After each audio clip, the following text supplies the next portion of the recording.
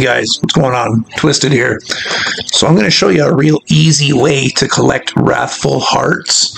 Instead of going and using all your resources to craft Invokers and trying to get lucky and get a Wrathful Invoker, uh, I would just suggest to come over here to this spot and do this method to collect your hearts. Now this will work on any tier.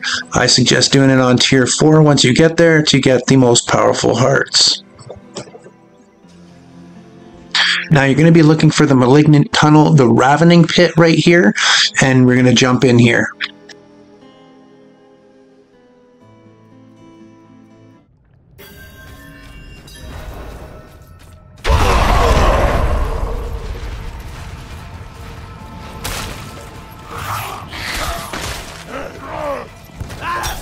Now, once you're in here, there's going to be two elites that are marked on your mini map with a skull icon. There's also going to be a third elite running around with no marker. You're going to want to locate all three of these and see if the, one of them is a Wrathful by looking at the name tag on the top. And if it has the Wrathful marker, then you're going to kill it and collect the heart. Now, I suggest killing the two skulled marked elites, and once you do that, that'll open up the end room, which will give you a fourth chance at getting a Wrathful spawn. And once you go into that end room, you spawn the last Malignant Elite, and you have the last chance at it being a Wrathful.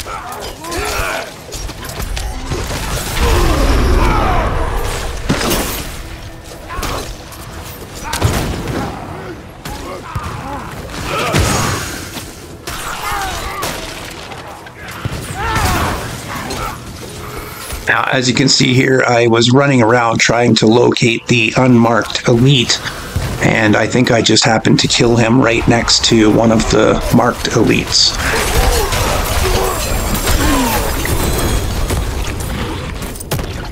There's the two hearts laying on the ground there. I go to find the third one to make sure I have killed all three, and then I'll make my way into the last room.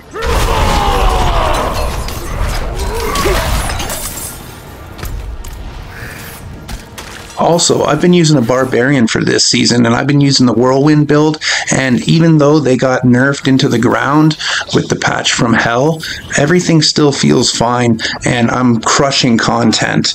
So, I mean, I don't know why people are saying the barbarians are dead. They are definitely not dead, and they are still very viable.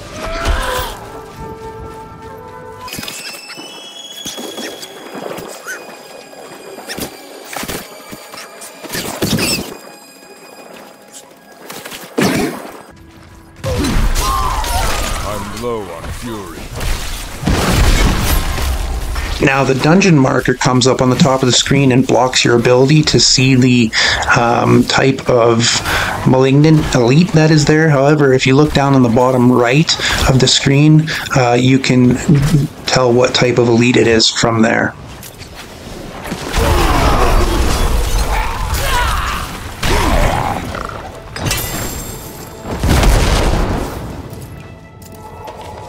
Now, if you don't find any Wrathful Elites in there, you're just going to exit out, reset the dungeon, and do it all over again until you do.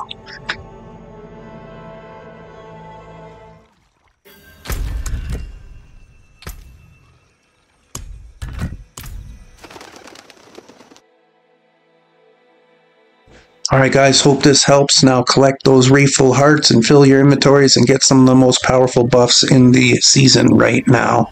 Also, if you have any comments, sound off down below. And please like the video and subscribe and have yourself a great day.